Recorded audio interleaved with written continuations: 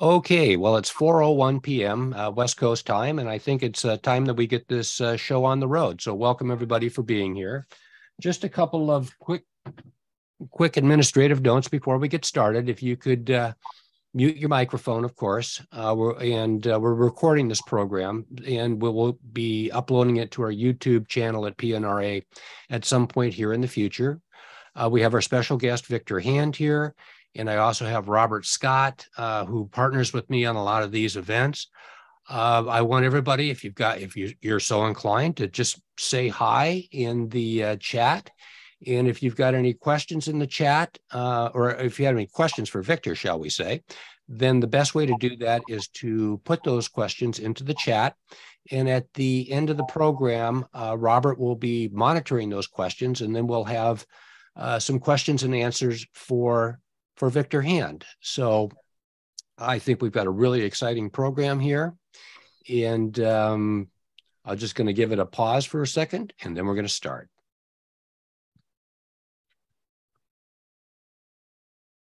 The Pacific Northwest Railroad Archive and Cascade Rail Foundation welcome you to today's presentation by world-famous photographer, Victor Hand. The Pacific Northwest Railroad Archive is in Burien, Washington, near the Seattle-Tacoma International Airport.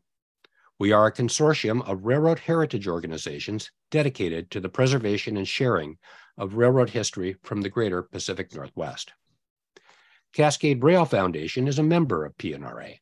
CRF is the western home of the Milwaukee Road Archives and is actively involved in the preservation of Milwaukee Road legacy in Washington state, including the Palouse to Cascades Trail and the South Cle Elum Heritage Site. Today, we have the pleasure of enjoying images from the Pacific Northwest, selected by Victor Hand. Victor shares these images of a variety of railroads, including my favorite, the Milwaukee Road. And we'll end the program with a few intriguing programs from, well, shall I say, for now, elsewhere in the world. Victor Hand was born and raised in New York City, where he attended college and law school at New York University. He became interested in railroads at an early age and took his first railway photograph in 1955. His pursuit of railroad photography has taken him to 53 countries. Victor enjoyed a 35 year career in the railroad industry, starting as a fireman with the New York Central Railroad and ending as a management consultant specializing in railroad operations and facility planning. There you go. He has authored several books of railroad photography and has contributed his photographs to dozens of books by other authors. Hundreds of his images have been published in a rainbow of railway periodicals that literally span the globe.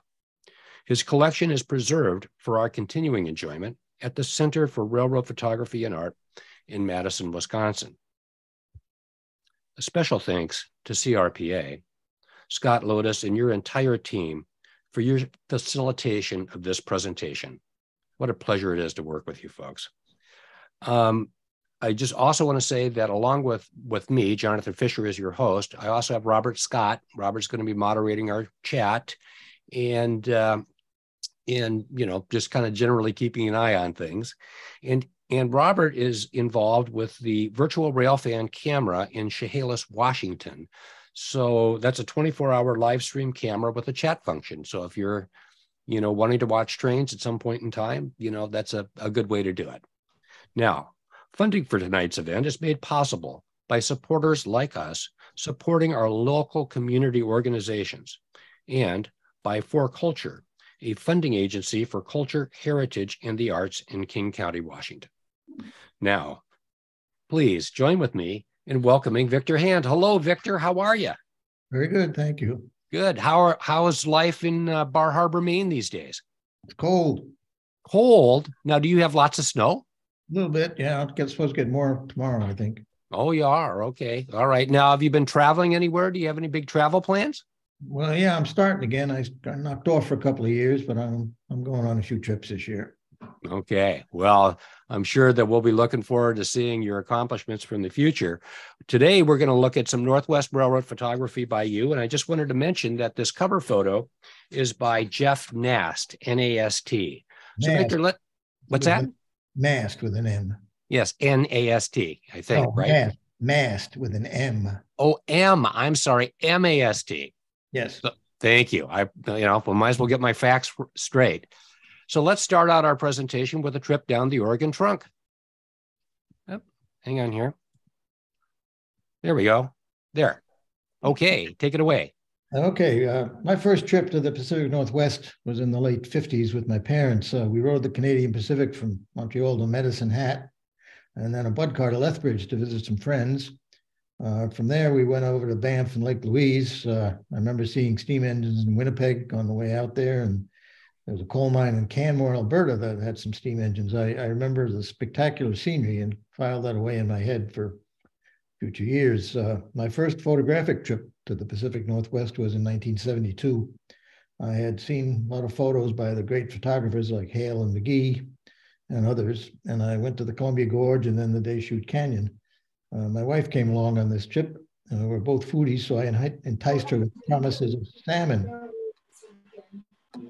But uh, it was a long time of year. Only the Native Americans were able to catch salmon at that time, so she lost out. Uh, this first picture is the day we went into the Deschutes Canyon. It was July and hot. Uh, my wife almost died and said to me, do it by yourself from now on. Uh, I've done that for over 50 years.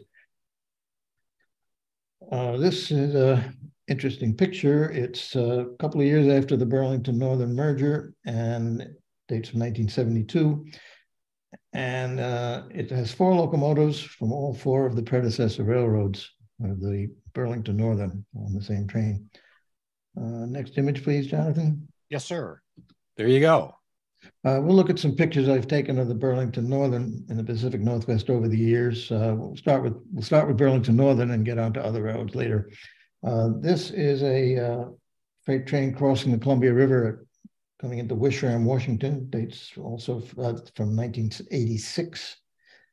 Uh, it was a pretty nice spot at Wishram with this bridge over the Columbia River. Uh, next image, please. Uh, here's a train leaving Wishram, uh, also crossing that same bridge, uh, going towards the Oregon trunk. This dates from 1979. Um, next, please. Uh, this is an eastbound grain train at Maryhill, Washington, just east of Wishram. Uh, you can see the old roadbed down below there. The railroad had to be raised a few times as they built dams along the Columbia River. So there's quite a bit of uh, interesting uh, earthworks out there.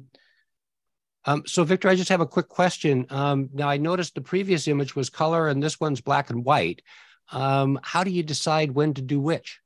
At the last minute, I, I take a look at what's going on and I can throw a sheet of color in anytime. It takes a second so uh, sometimes I'll have two film holders sitting in my pocket and I can just grab the one I want. I don't do that much color, uh, 5% maybe. Now, when you say sheet holders, what kind of camera are you using? Uh, that picture that you had of me on the front shows a speed graphic four by five inch, and it takes sheet film. Uh, the a film holder holds two sheets of film, one on either side. And and you've and how many years have you used that camera? bought I first went to 4x5 in 1962 and uh, I've been with the same cameras and lenses ever since. Yeah, fantastic. You ready for the next image? I am. Uh, this is Lyle, Washington, 1972, uh, eastbound train. Notice that the uh, water level is low. There's a line along the bank there. Uh, for some reason, must have been dry that year. Next, please. Hang on here. Come on. I've got a, I'm stuck for a second. So there we go. Here's another shot, the same place at Lyle. This is 1979, and you can see the water levels up a bit. Uh, colors look very nice in that shot. Now you're kind of dangling off a cliff here, aren't you, Victor? No, you're just kind of standing there. Oh, okay. And this yeah. is a. Uh, As I've gotten older, I've learned not to stand too close to the edge. I think we should all take some uh, advice from that, shouldn't we? So, here, let's look at the next one. Yeah. Uh, this is at uh, Goodnoe, Washington, 1979, eastbound freight train. Um, what I remembered about this shot was that there are ingots of aluminum on those bulkhead flats because there used to be a, an aluminum uh, smelter in this part of the world, but that technology, that industry is long gone now. Okay, next. Okay. Uh, out of Lyle, Washington, there was a branch to Klickitat. There was a, a lumber mill up there, I guess, and they produced lumber and chips. Um, I caught the local one day. It was down in Lyle and saw the local there. So I went up and got this shot. Uh, next case. So, so you had a little bit of luck on this one? Well, no, you just, whatever you see, you, you know. Okay. Whatever you run into is what you get. there you go. Okay. Well, let's see what we get next. Uh, this is uh, Burlington Northern local freight going down uh, joint operation of the Union Pacific and the Northern Pacific, which went to Lewiston, Washington, connected with the Camas Prairie Road which is also a joint operation. The background here is uh, Union Pacific's Joso Bridge over the Snake River. Okay, next image, please. Uh, east of Wenatchee on the former Great Northern uh, was a very interesting bridge. It had been strengthened years ago by doubling the girders. They just built a bridge within a bridge. Uh, and I like this bridge very much. Took the trouble to walk to both ends of it over the years. Uh, it's quite a quite a walk either way. Uh, this is eastbound freight in 1986, crossing the Columbia River. Yeah, that is quite a walk to get in there. So Rock Island, Washington. Rock Island, Washington. There you yeah. go. Okay. Next, next, case. The Deschutes Canyon uh, caught my attention. That's a spectacular piece of railroad. Uh, here's a Northern Pacific engine in 1972 at Sherar's Bridge. Uh, southbound train it's always good stuff in the yeah that's a little bit of a tricky spot to get to. I don't think we would be trying that at our age anymore would we? Well uh, yeah i was a lot younger then. Yeah. What okay. year was this victor did you say? 72 72 wow. Right after the merger. Look at that. Uh, northern pacific SD 45 and SP&S alco. What a neat consist okay next. Uh, this is a scene in portland uh, of the former roundhouse uh, just uh, turntable was still there, yards were still in use, grain elevators. It's a nice scene. Wow, it's a beautiful scene. Is this Hoyt Street? I don't know the street, but it, I'll, uh, I'll, put it in. Someone will answer us in the chat. We'll find out. Yeah, so it, was a roundhouse there at one point, but yeah. it's right, right in downtown Portland. Right in downtown Portland. It's a neat shot. Yeah. So were you up on top of something? Uh, I guess. I don't know. Yeah, looked like it. I, I, didn't have a drone in those days. and you still don't, do you? Well, no, I had I had a drone. It was called a helicopter, but I didn't oh. use that too often because it was expensive. ready? Uh, yes, I'm ready. Okay. Uh, the Spokane, Portland, and Seattle was a terrific line. I really liked. I really liked it at uh, Wishram. Uh, this is a eastbound train leaving Wishram with uh, a Great Northern unit on the back and two Burlingtons and a couple more Great Northerns. Next west, uh, next, next picture, please. Um, after the Frisco people took over Burlington Northern in the early 80s, they made some what I consider some really bad decisions. One of them was abandoning the SP&S between uh, Spokane and Pasco. Uh, it was a good line, well engineered, and as traffic has grown in recent years, they probably wish they had it back because they've had to pour a lot of money into the parallel Northern Pacific line to upgrade it and expand its capacity. Uh, this is a, a, grain train at a place called Burr Canyon, Washington, along the Snake River on one of the big trestles on the Spokane, Portland, and Seattle. Yeah, the uh, Union Pacific can be seen on the other side of the river. Uh, high up on the hill, yeah. Yeah, right. Yeah. Okay. okay. Next. Uh, this is a uh, Portland Galesburg train uh, coming up out of the Snake River Canyon at a place called Devil's Canyon, Washington. This dates from 1979. Now, this isn't a typical direction for them to run, is it? No, they ran, ran mostly westbounds on that line, but they, they ran an eastbound now and then. For some reason, this came that way. Okay. Well, yeah. Lucky you. It's a great shot. Ready? Okay. Next year. Uh, they resurrected uh, the SP&S 700 uh, uh, in the 90s, and I liked that engine. And ran a couple of excursions on its home territory where it belonged and looked very good. Uh, here it is on a Vancouver to um, Pasco trip. Uh, the train was actually going to Spokane. It was a, it was a long weekend. Uh, this is a Goodnoe, Washington, 2001. Next.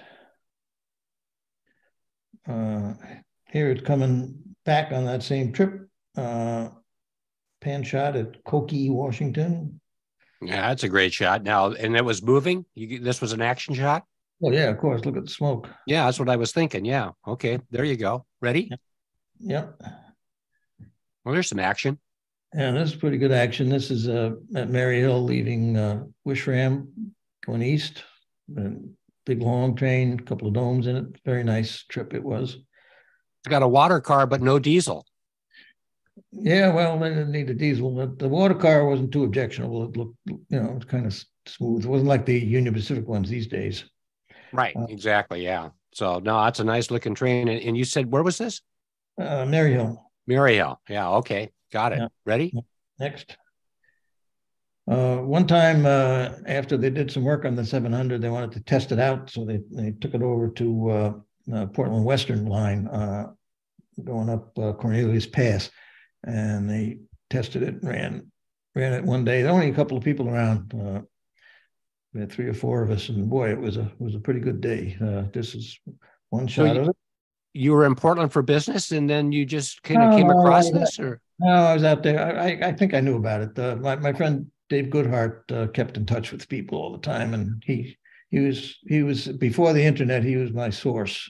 Ah, okay. So there wasn't too much that was happening that we didn't know about. So then, was Dave with you? Obviously, Dave would have been with you on this trip, oh, yeah. then, right? Of course, he was. Yeah. Yeah. Anybody else you remember or not? And Nils Huxtable showed up. I remember. Oh, Nils. Oh, I knew he'd had to make an appearance here somewhere. Yeah, so. he he has good sources also. Okay. Oh, yeah. Ready? Next, yeah. Here we go. Uh, same day, same engine. Same. Oh, look at that smoke. That's just beautiful. Same spectacular scene. So they ran a little. What did they run like a little freight or a little passenger? Yeah, they, yeah, they were just testing the thing out. They wanted to see, make sure that whatever repairs they had done were were working right. And this was easy place to do it. I, I would say from this picture that the work repairs turned out okay, huh? Yep. Yeah. Okay. They were based at a place called Linnton, Washington. I remember there was a a nude bar there where we spent time in between in between runs. Um, okay, next case. Yeah, this is a night shot at Linnton there. Uh, hmm. wow, that's quite nice. Who do you remember did the lighting? I do. I do all that. Oh, you do. Oh, okay. I uh, early on in my career, I discovered a book called Night Trick in the Norfolk and Western by O. Winston Link. Oh, sure. And then I saw Jim Shaughnessy's night photographs in St. Albans, Vermont. And I said, I want to learn how to do that. Well, yeah. A guy uh, that I knew when I was younger, Bud Rothar, showed me how to do it.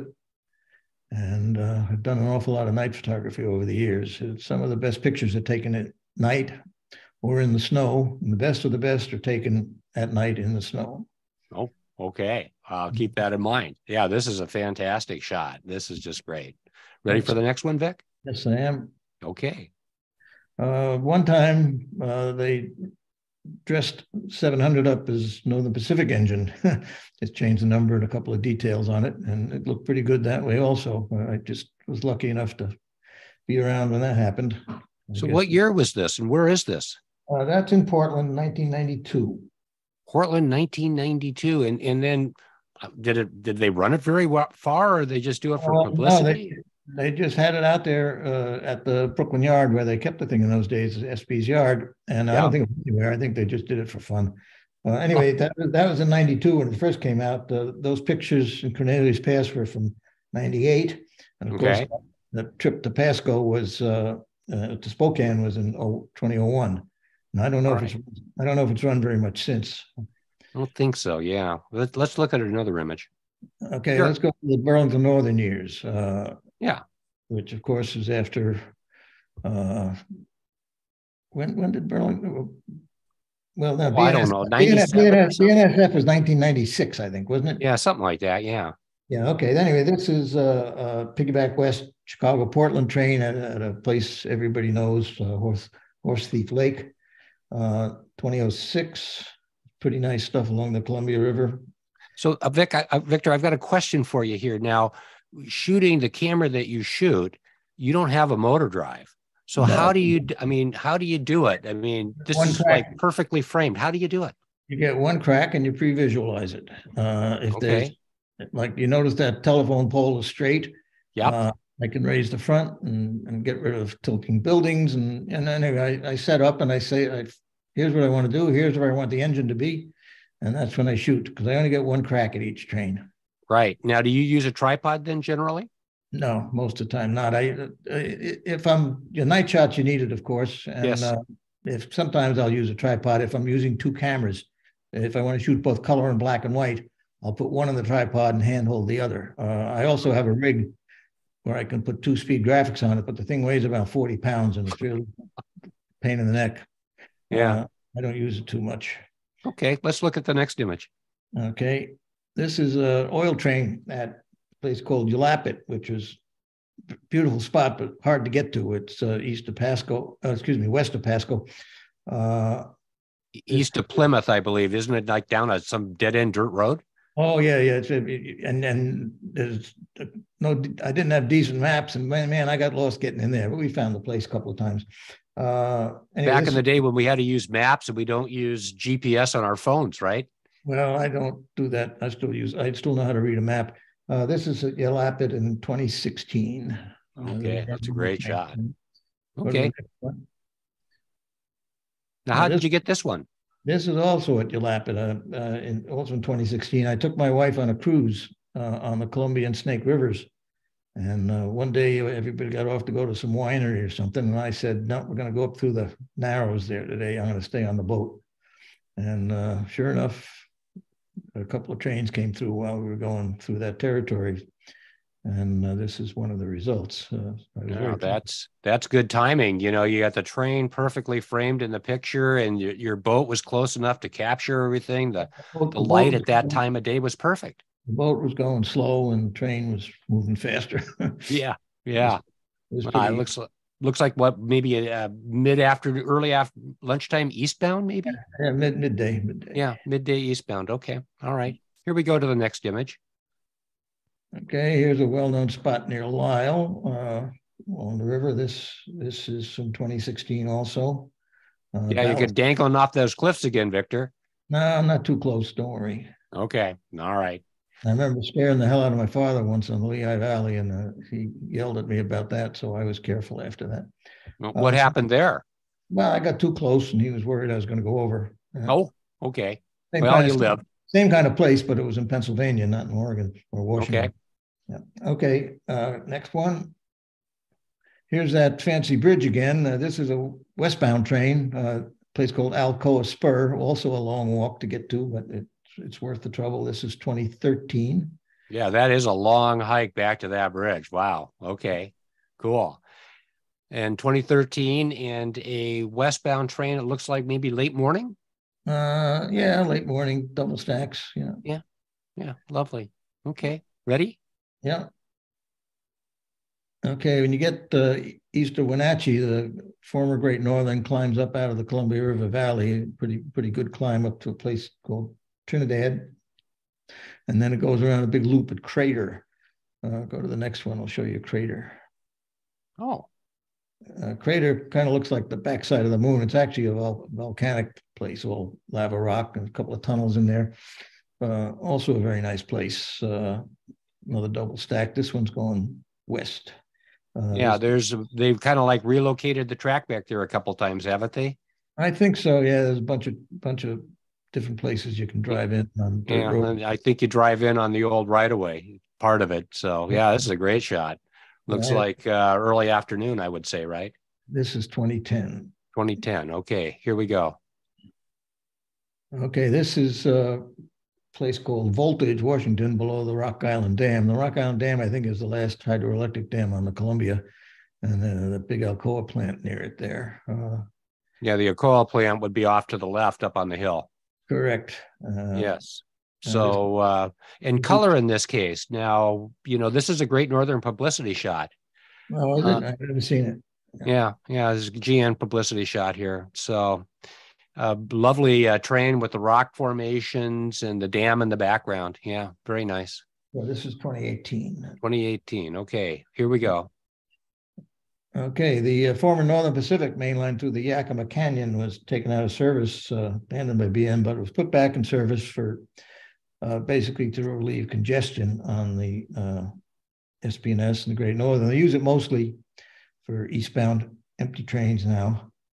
Uh, here's a grain empty east of Roselle, Washington, 2009. And here's the next one. Yeah, Providence Hill. Uh, this is the former Northern Pacific Main Line from Spokane to Pasco, uh, which got very busy after they abandoned the Spokane, Portland, Seattle. So they've had to double track a lot of it and make a lot of improvements. Um, so, uh, Victor, but I have a question about this. Now, I've been there and I've taken pictures, and they don't turn out as well. What is it about the light or what you do that creates such a, a compelling composition?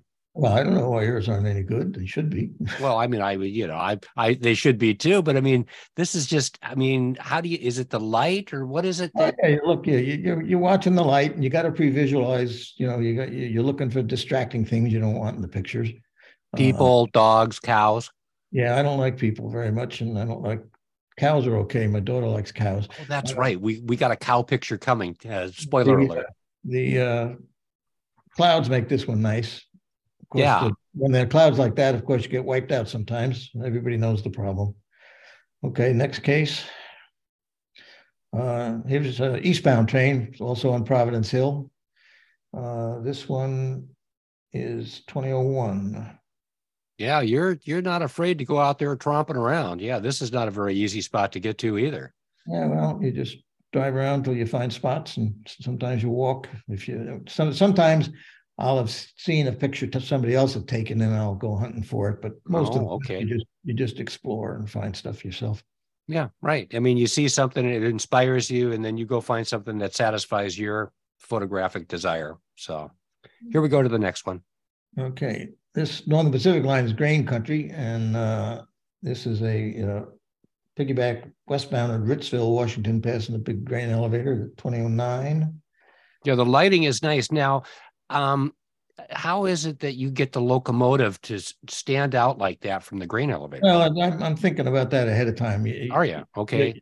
If you've got a dark front end on an engine, you want something light behind it. Uh, with a steam engine, sometimes you get steam, but with the diesel, you got to find something else. Uh, there's nothing worse than a dark front end against a dark background of trees. So I try and avoid that anyway, this this was a pretty good composition with this grain elevator, so I liked it. Oh, yeah, and I like the grain elevators behind it, and the light and the shadows, and uh, looks yeah. to be um, mid to late morning. I'm guessing, yeah, right? Midday, yeah, 2009. 2009. Um, Here we go to the next shot. Okay, it's another set of grain elevators, old ones. This is at Cunningham, Washington, 2016. There used to be a town here of almost 500 people, and there's you know nothing but a few shacks left at this point a lot of places like that. Yeah, well, I know. So okay. uh, let's go like, to the Union, let's go to the Union Pacific side of the Columbia River now. Here we go. Pretty nice, also. Um, it was a little more difficult to photograph there because you had that freeway uh, and uh, it limited access, got in the way sometimes, but you could do some pretty good pictures there. Uh, this is a uh, westbound mixed freight at Heppner, Oregon. Those boxcars are carrying probably grain. They, oh, they okay. They moved a lot of grain in those days in box cars before before the covered hoppers really came into use. This dates from 79. 79. Okay, 1979. Okay, ready? Next. Uh, here's Union Pacific's Oregon Trunk Local. Uh, UP uh, started building their own line down there, but they eventually made a deal with the Great Northern and uh, Spokane, Portland, Seattle, and and used the same railroad. But they run to this day they run a local down there. Comes out of the Dalles. And here it is approaching the uh, Burlington Northern's Columbia River Bridge at uh, Oregon Trunk Junction, also 1979. So the Union Pacific track, which is underneath the BN bridge, this train is coming up a connector and then will connect into this track that's coming across the bridge. Correct. The Union Pacific main line is below uh, below that girder bridge, and this is a connecting track to the Oregon Trunk.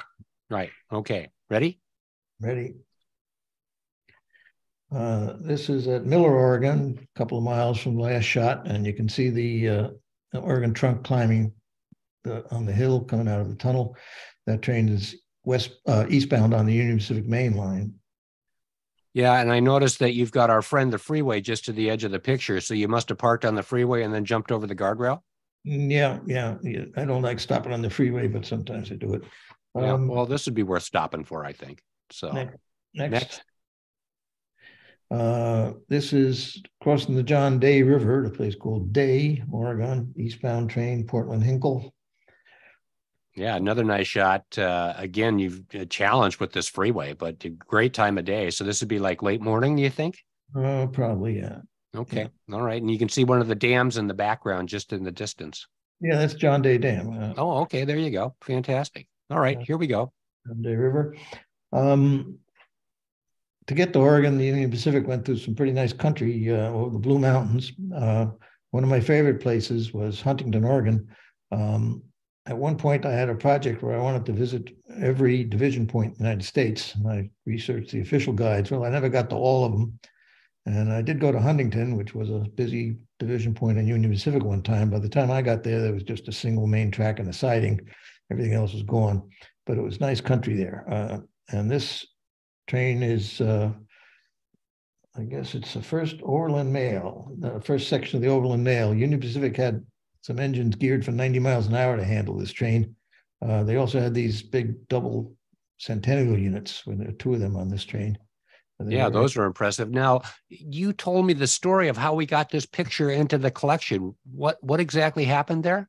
Well, I wanted this picture in the presentation, and, and Scott was going through his scans, and for some reason, the scan they had of this one got messed up. I mean, they scanned 46,000 pictures, and uh, I guess a few of them got loused up. So I said, well, I'll I'll dig the negative out. Well, it turns out I had a print of it. So I sent him a scan of the print, and that's what this is. It's just as good as as the Yeah. original. Just as but but but a little bit different uh, source than so you got it, scanned it, sent it to him, and then he was able Oh, to no, I, I got it and got a print made. Okay. And then I sent it to him when his scan was no good. Uh, I could have sent him the negative and he could have rescanned it, but the negatives are kept in the freezer and it's a real pain to get them out. Oh, So- sure. Yeah. And then you got to warm them up and do all. Yeah. So let's just go with this. So this is a great shot. Am I? I'm. I'm. What? What time of day do you think? Uh, also midday, I guess. Yeah. Okay. It might be might be morning because the front end is dark. Yeah. And, and what time of year? Uh, there's 1979 uh, September. September. All right. Nice Yeah. and green. Here we go to the next image. Okay, the just below Huntington, the Union Pacific crosses the Snake River uh, at a place called Blake's Junction. Uh, used to be a branch there when they were building a dam on the Snake River, but that was ripped up when the dam was finished. But the, the main line is still there. Uh, this is a, a westbound train, 1979, also. At uh, milepost 536.38, I see. That's probably right. Yeah. Okay. Measured Ready? from Bluffs. I, I think those mileposts come. I'm not Come sure. from, yeah, I don't know where they, I don't know where they measure this, the Oregon. That's more than five hundred miles from, from Omaha. May, maybe that measures from uh, Granger, Wyoming, where the line takes off. Oh, I bet you're right. I bet it is. Yeah, that makes sense. It would be from Granger. I'd have to, I'd have to look that up. I don't know. Yeah, I'd have to check my, check my official facts. Somebody, somebody that's a UP fan will probably put something in the chat and let us know. So Robert will fill us in later. So let's go to the next image. Okay. Uh, they, out of Huntington, they climbed up the hills, up the Blue Mountains. This is a place called uh, uh, Weatherby, uh, North Platte Hinkle Freight. This also dates from seventy-nine. Now, were you out there on business or by then you were out there doing no. both, were you? Well, when I was on business, you, you didn't mix business and pleasure. When we get to the Milwaukee section, I'll tell you a little bit more about that. Sure. Okay, I'll save that.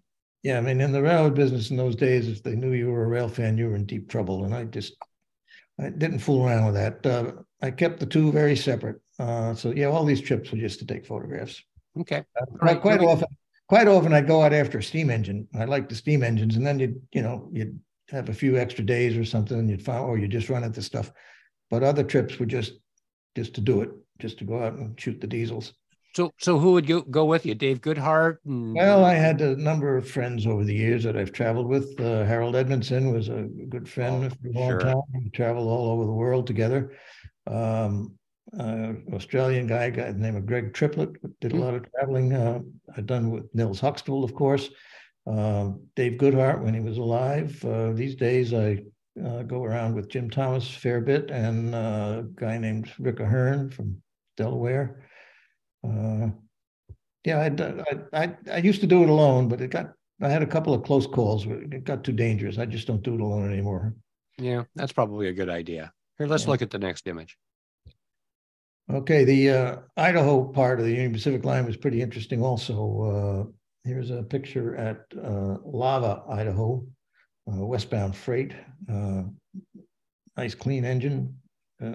I love the shadows and you got just that that perfect, you know, kind of the light even you, you see the shadow on the on the side of the door. I, I just thought that this and then the shadows in the background i really thought made this an, just an outstanding photo. The snow throws the light up but it really snow really helps everything uh, if you get your exposure right.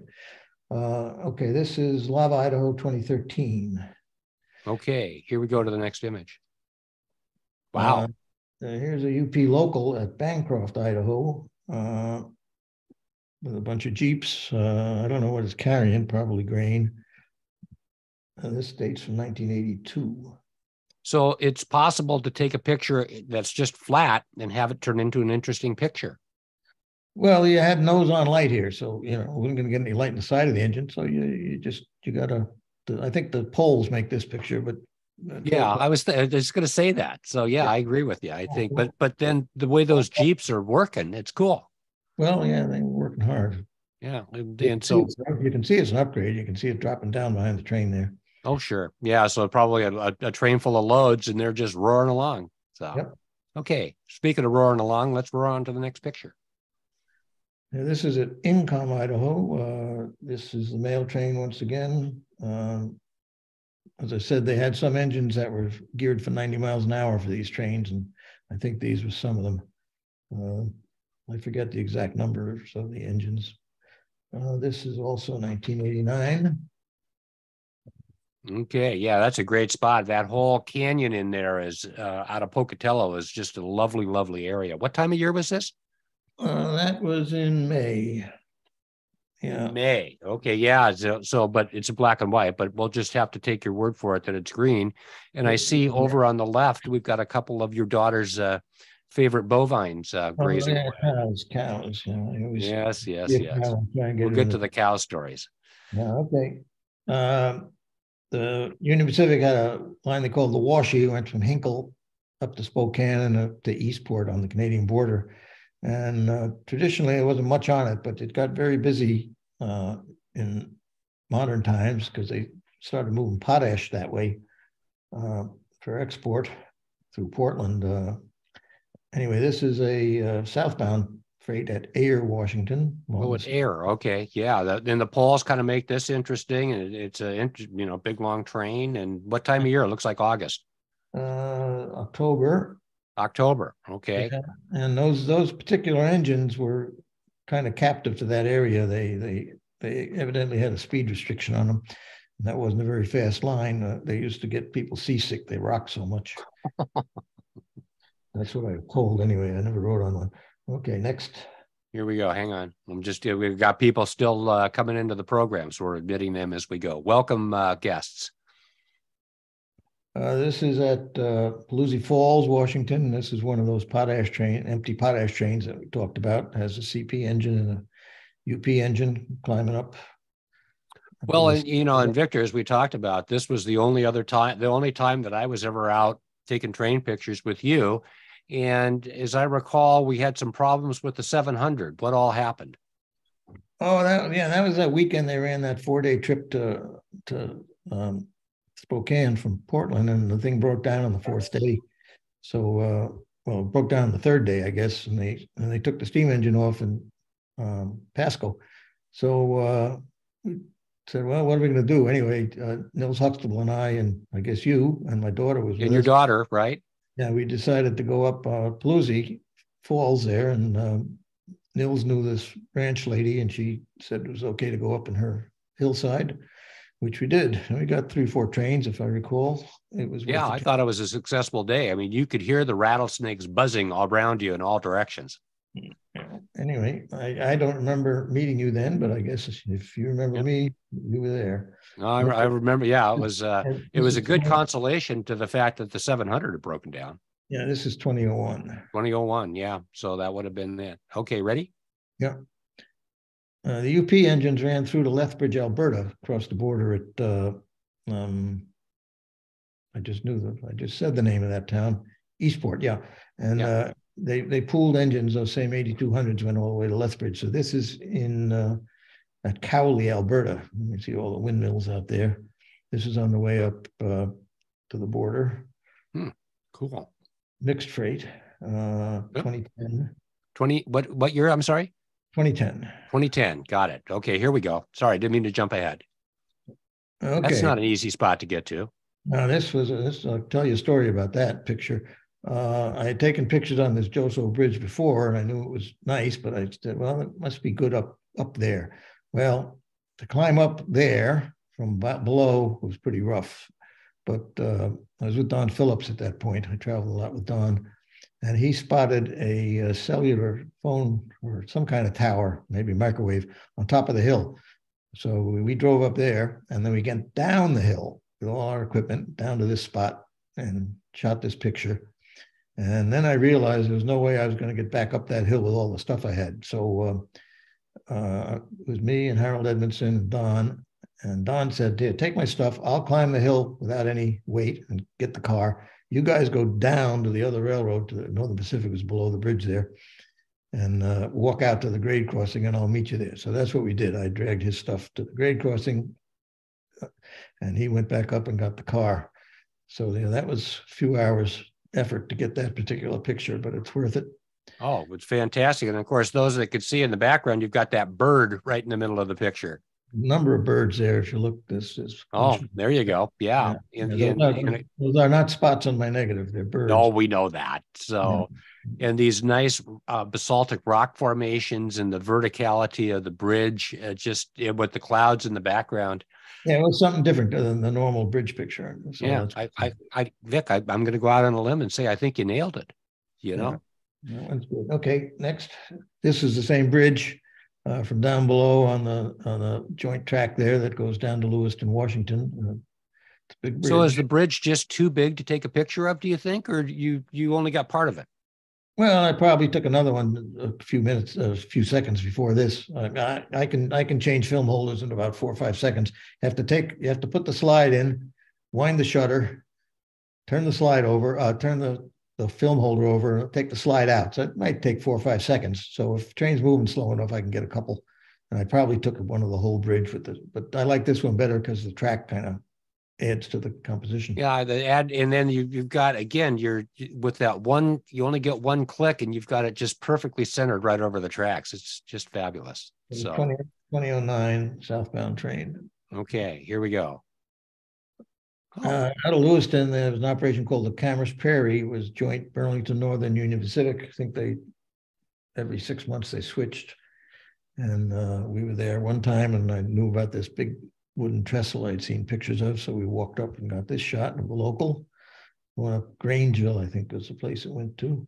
Yeah, this went to Grangeville. Yeah, you're up in uh, uh, Lapwai Canyon, they call it. So Yeah, the town is, the nearest town is Reubens. Reubens, yeah, that's up on the plateau right behind us. So yeah, that's that's a challenging hike to get in there too, isn't it? Yeah, well, you can walk up the railroad or you can, you can walk across some farmers' fields. There's two ways to do it. Uh, Yeah, Nils liked to walk across the bridges. I didn't quite have the. Yeah, no, I did it. We did it across the bridges there, yeah. Oh, Uh, okay. So it's, it's not that big a deal to walk across the bridge. In nineteen eighty-seven. 1987. Okay, here we go to the next image.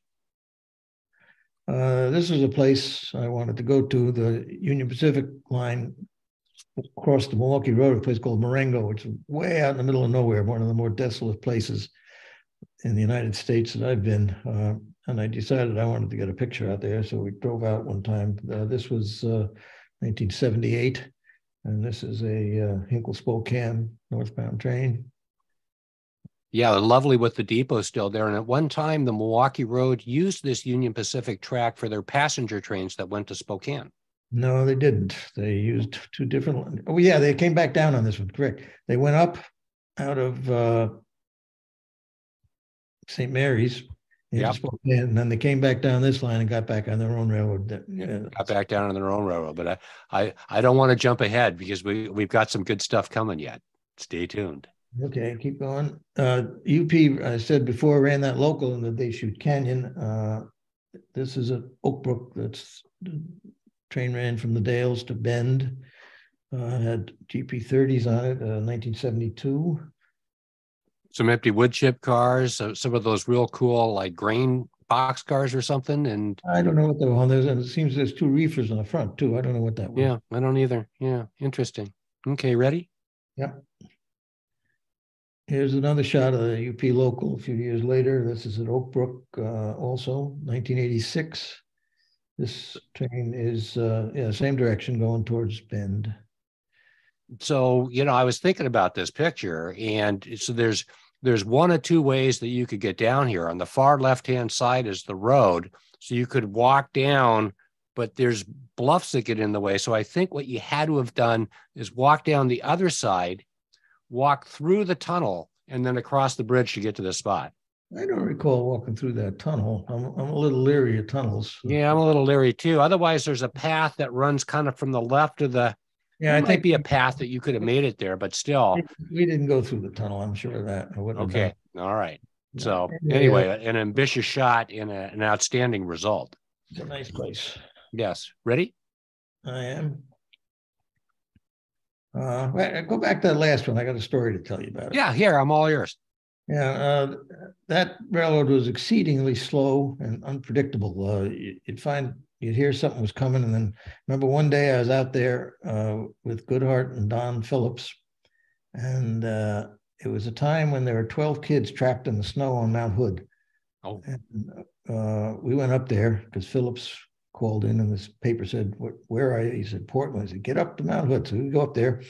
And, uh, all the amateur TV reporters were up there and anyway, I was listening to, I was standing next to a cop car and I hear him on the radio talking to people up on the mountain. So I said, what channel is that? And the officer told me, so I tuned it in. And Phillips came over and sure enough, he's listening to the rescue people. And, uh, of course, he heard the first, when they found the first kid, he heard about it and he was there to meet the helicopter and he took over, made all the rest of them look like chumps. Uh, he, he made his reputation out of that. But anyway, we didn't want to hang around all day. So Goodhart and I went out down to the Oregon trunk and there's supposed to be three trains coming. We sat there for eight hours in the sunshine and not one of them showed up. T- Total bust. So it was a, it was a rough place to take pictures. But that Yeah, happened. I, I, I can, I can sympathize. I was oh, oh for three for last year Yeah. and finally, uh, finally had some luck down there. Now, what did Don Phillips do? He was a reporter for the Washington Post at the time. Uh, he covered the transportation, which is airplane crashes, railroads, uh, ocean shipping. Uh, he did that for 20 years. And then just happened to be there and broke we the were- we were story of the rescue. Yeah, well, yeah, well, he, he called in. In those days, he always carried dimes because yeah, he called in all the time to see what was going on. And What a uh, payphone. oh yeah, yeah, remember what those were? Oh, yeah, yeah. Just for, you know, a trip down memory lane here, Vic. Yeah, and in- in any event, he called in and they said, get up to Mount Hood. So we went up there. It was an interesting scene. Uh, I guess they, they rescued most of those kids. I think they all survived. That was good. Oh, Uh, yeah.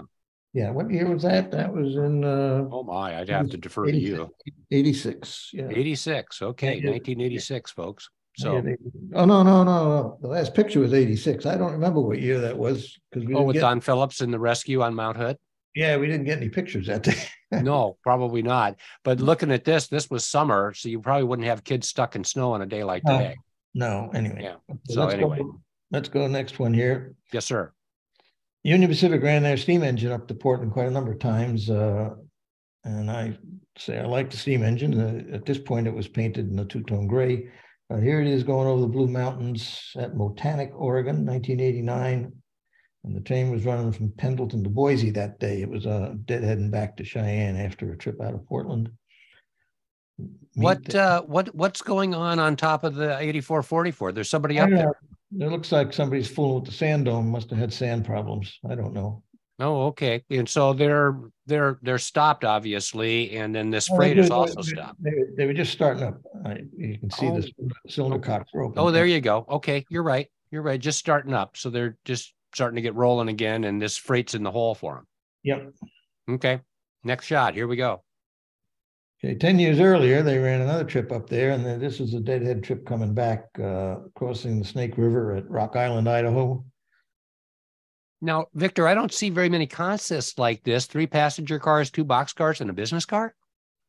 Well, the business car was probably someone having fun. The passenger cars, maybe they had run up for the excursion, and I probably they probably needed those box cars just for extra braking capacity.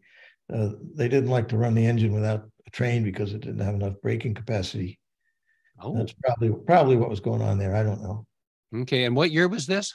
This was 1979. Wow, that's a great shot, a rare one too, I would think, because this is a reverse move. So you, someone would have had to tip you off, right? Well, no, no, we, we knew it was going from Portland to Cheyenne, so Okay. So it has to to, figure out. It took them took them four days, and uh, th- this particular spot, though, uh, you got to leave the tra- railroad and drive 40 miles up the Snake River, and then 40 miles back on the other side to get into this place. So wow. it, it, you gotta you gotta want this picture. To I've been in there a couple of times. It's a nice location.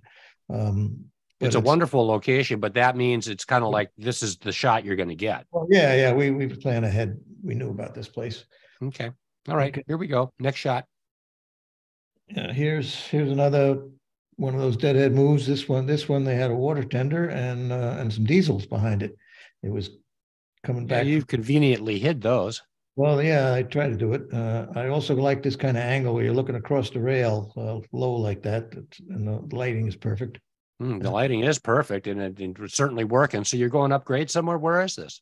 This is at Peeble, Idaho, and the train was going from uh, Nampa to Green River that day. Hmm.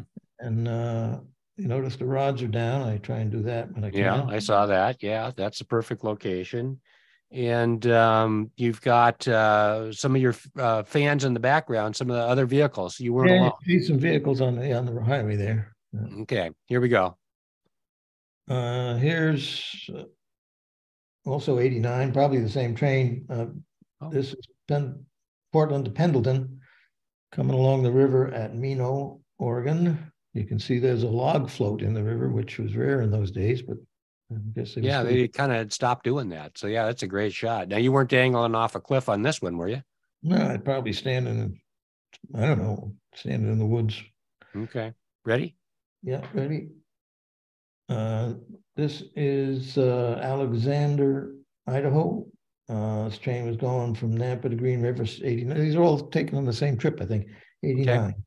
Uh, took them Now you use a little bit of compression on this photograph. Yeah, I don't normally do that, but th- this this one, maybe I was getting bored with the other stuff. I think it was the lighting. The lighting was nose on here, so I I, I thought it would work, and it did work out fine. Uh, I don't often use telephotos because I don't like to s- make the engines look weird, but head on like this, it's okay. Okay, great. Here we go. Wow, what do we got here? Goff, Oregon, uh, pan shot. Uh, Robert Hale used to do this kind of stuff. I tried it once in a while uh, from a moving car, and you take about twenty, and you might get one that works. But this one, this one worked out okay. Um, Yeah. Now, uh, so who was driving? Do you think? Do you remember? well, probably Don. I don't know. Uh, one of the other guys, and I was in the back seat. Okay, because you weren't trying to drive and get the picture at the Uh, same time. And I may be crazy, but I'm not that crazy. Okay, guy. Well, you you certainly nailed it. Now is the crew waving at you? Then it looks like. Uh, yeah, that's Steve Lee. Oh, is it? he, he ran that thing for years. He was he was a friend. Uh, yeah, Oh. I guess I guess they're waving at us. I don't know. Okay, Great shot. Let's go to the next one. okay. Here's uh, once again probably that same train. Uh, Colum- This excursion, Portland, Pendleton, uh, along the Columbia. This is at the Dalles. You can see the Dalles Dam in the background. A, a nice place. Yeah, it's a great shot. Yeah, that's very good. Here, let's look at the next one. Uh, well, they they ran the Challenger up there once or twice also, and I like the Challenger, so went up. Uh, this picture is taken uh, at Swan Lake, Idaho, 1982, and it had a particularly nice looking train. I recall. You can see you can see how big the Challenger was. The tender just dwarfs that baggage car. This thing is monster. So, um, Well, I mean, this one looks small compared to the big boy, but yeah, yeah. that's a good point. Yeah. pretty, pretty nice engine. I, I always liked that 3985. Oh yeah, it's a beauty, and she's working and, and at pace and the whole thing, right? Yeah. Yeah. Here we go. Okay, Amtrak ran up that way as well. Not that I'm a big Amtrak fan, but uh, they ran a few trains. Uh, they ran the Pioneer from 1977 to 97, which connected with the Chicago uh, Oakland train at Salt Lake City. Well, Ogden first, then Salt Lake City. And it ran for 20 years, uh, Salt Lake City to Portland. Uh, here it is at Goff, Oregon, going east, 1979. Next. Here it is at Huntington, Oregon, going the other way, going west, also 1979. You can see the baggage car in the rear.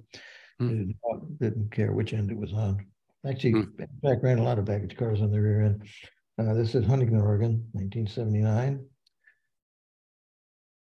Uh, the Amtrak ran the Empire Builder out of Seattle along the former Great Northern. Uh, this picture is at Mukilteo, Washington. Uh, the Seattle Chicago Empire Builder. Yeah, it's working hard late in the afternoon. At, you know, about a, about a five o'clock departure out of Seattle. That's uh, yeah, this late. This was taken. No, it's taken in October. So yeah, yeah, it's about right. Yeah. Yeah, you know, you got that nice afternoon, kind of almost glinty-ish light, and uh, yeah, that's a that's a beauty, yeah. as the Canadians would say. Okay, then here is the Portland section of the Empire Builder, which united with the other piece of it at Spokane, uh, leaving Portland. Um, okay. This is also 1989. 1989. All right. One before was 88, actually. Oh. Okay. Okay.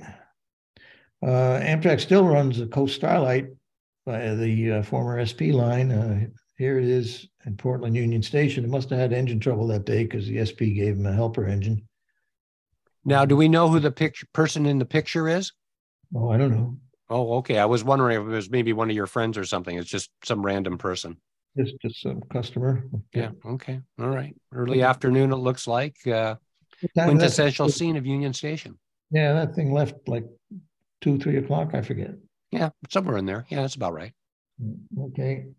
Um, this looks cold. Yeah, it's cold. They ran the North Coast Hiawatha on the former Northern Pacific. Uh, when Amtrak started up in 71, um, I guess it was uh, April 1st, they cut that train off. Uh, within a month, Senator Mansfield from Montana made such a stink, they put the train back on. And at first, it ran Minneapolis Spokane in conjunction with the Empire Builder. Uh, eventually, uh, they ran all the way from Chicago to Seattle as a separate train. Um, I was. Where are we? We're at uh, Livingston, Montana in 1972. Looks uh, cold.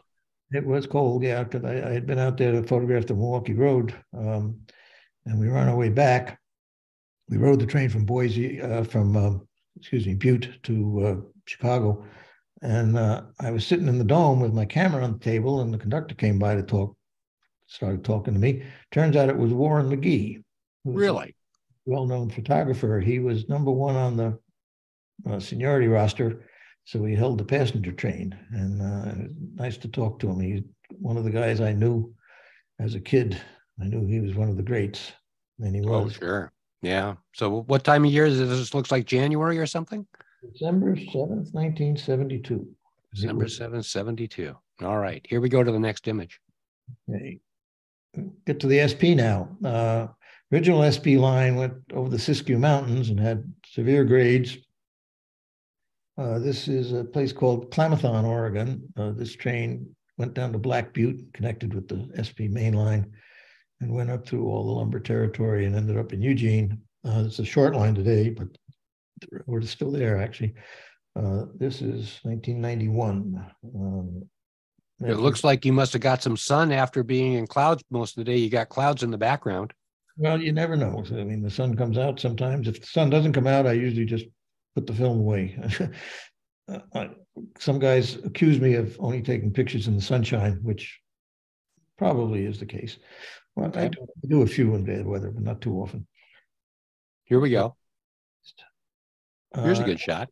1926, uh, Southern Pacific built the Natron cutoff, which skirted Mount Shasta, and the grades were much easier than Siskiyou. And It was a better railroad altogether, and that became the main line. Uh, and it, as I said, it went by Mount Shasta, which I liked very much. There were a lot of really nice spots up there. So we went up there a number of times. Uh, I knew the SP pretty well because I I'd done a lot of consulting work for them. They were one of my main clients. I, I think over the years I did 27 different consulting jobs for that company. Hmm. Uh, but I I got all over the railroad, and uh, needless to say, this area was was one of my favorites. This is a uh, eastbound at Andesite, 1986. The the prior picture, which you turned off pretty quick, was from 1981 at Cougar. This is 81 at Cougar, and this is 1986 at Andesite. Andesite. Which uh, so it's going upgrade? Yeah, they're going well. Yeah, they're, yeah, they're both going upgrade. Uh, okay. The grade starts at Dunsmuir, I guess, and uh, it's pretty steady to Klamath Falls. Um, hmm. Pretty nice piece of railroad. Um, okay, keep going here. Uh, this is at Heather Oregon uh, for the eastbound freight. No, it's a westbound. On the Southern Pacific, everything going towards San Francisco was west, and away from San Francisco was east. So even though this train was going south, was going towards San Francisco, so it was considered a westbound. A westbound, yeah. Wow, mm-hmm. that's quite a spot. So you drove just drove around on the Forest Service roads until you found yeah, a spot. Walked around on the Forest Service roads. I doubt we walked very far, but uh, and I didn't. I didn't cut those trees down. Someone else did. No. Okay. Um, this is the same train actually at Cruzatte up the hill a little bit. Notice the old water tank still there and the SP signal bridge. Um, yeah, that's lovely. What time of day? It's getting to be more like afternoon now. It's probably afternoon. Uh, Cruzatte. This is 1986. Yeah, that's lovely. Beautiful. Wonderful. Here we go to the next image. Okay, I went up uh, quite often to see the 4449, which I liked very much. Uh, a beautiful engine and with a nice train. Um, and uh, Doyle McCormick, who organized the thing and ran it, was a good friend, and uh, we had some awful good times following that train. Um, this picture is at Kegg, California, excursion from Sacramento to Klamath Falls in 1991. Is that Kegg, K E G G? Kegg, yes. Yes. Okay. 1981. 91. 91. Sorry, that, I knew that. that I, and I said the wrong thing. The engine was not resurrected till 1982. And okay. I came out, I had broken my leg in Philadelphia in the service of Conrail, and I was in a cast up to my hip. But I heard that engine was coming out, and I went out there for it. Okay, and uh, I recall uh, I learned about the problems disabled people have on that trip. I had my camera around my neck on a on a belt, and I was walking with crutches. And I, I remember at one point we got out of the car and everybody started running for a shot, and I fell over on my face in the mud. Oh, yeah. It was it was pretty frustrating, but I was not going to miss the daylight coming out. Of course, I got it many times thereafter, but I remember that first trip. Um, Okay, yeah, this one's at Kegg. Let's go to the next. Uh, this is one of my favorites. It's at Black Butte and Mount Shasta behind there. It's in July, so there isn't too much snow on the mountain. Uh, you'll notice uh, the train is making good smoke and working, but it was going downhill on a 1% grade. Uh, we talked to Doyle McCormick ahead of time and told him where we'd be and said, uh, put a little brake on, see what you can do. So he put a little brake on and opened her up, and this is the result. Uh, it's one of my favorites. This one hangs in my living room. Yeah, that's great. I mean, you got smoke, but not too much, so you can still see the mountain. It's just perfectly balanced. Well, a lot of it was it was smoking pretty good there. Yeah. Anyway, it's a good shot. Um, this is at Crescent Lake, 1991, on a Portland Klamath Falls trip. Well, I was going it was going down to uh, San Francisco, of course. They they ran that engine quite a bit on long trips. So I remember it went down one time out near Los Angeles for a, a Disney movie. Another time they ran it all the way to New Orleans, and we followed that thing from Portland into Texas and then back. Uh, I really like that engine. That's a beauty. In perfect shot, drivers down, nice uh, plume of smoke, and uh, perfect lighting. Try and get the rods down when I can. Yeah. Okay, here we go. This is at Algoma, Oregon, coming into Klamath Falls. Notice there's a bird up in the exhaust there, but nothing I could do about that. Nope. Yeah, it's a beautiful color shot. Uh, nice and low uh, along the along the uh, lake, isn't it? Klamath Lake, yeah, very nice Yeah. place. Okay. All right. You ready? Yeah, this dates from ninety-one, okay. Here's another shot at Crescent Lake from ninety-two. uh, Was uh, Portland Klamath Falls that day. I think that train was on its way down to the NRHS convention in San Jose that year.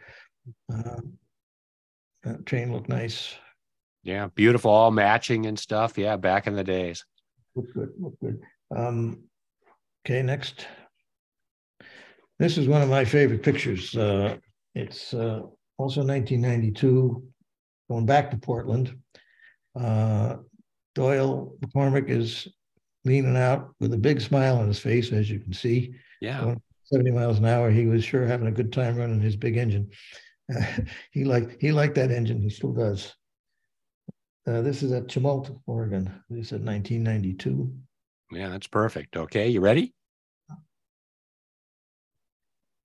This is at Westfir, Oregon, 1986. a Portland Klamath Falls trip. Kind of a short train. Yeah, I don't know. Uh, I don't remember what was going on there. Seems it got the observation on the rear, doesn't it? Oh, you know, you're right. Yeah, maybe they, they, Yeah, they did that purposely. That, that must have been something for the SP officials. They sometimes took people out and entertained them with that thing. Uh, I don't recall what it was. I'd have to look in my notes and see. And and the uh, the water car doesn't look too bad. No, no, because it matched. It looked Yeah. fine. Yeah. Uh, a couple of times when I was involved with steam engines, I tried to get them to buy a baggage car and put water tanks in. We actually did some engineering studies to figure out how much water you could get in and not exceed the weight limits. Uh, but nobody ever did it. It's a shame because uh, the baggage cars would have looked a lot better than these things that they have. That's a good point. Okay, next. Next case. They also ran uh, the 44, 49 down to Bend a couple of times. Here it is on the Spokane, Portland, Seattle, uh, BNSF. Its That Mount Hood off to the left in the background. Direct uh, out to Wishram. It looks like a little bit of a breezy day on the Columbia River. We see a few whitecaps. No, it's always windy out there, isn't it? Yeah, well, pretty much of the time. Yeah, you got to get used to it. So, Lyle, Washington, 1998. Lyle, Washington, 98. Okay, here we go.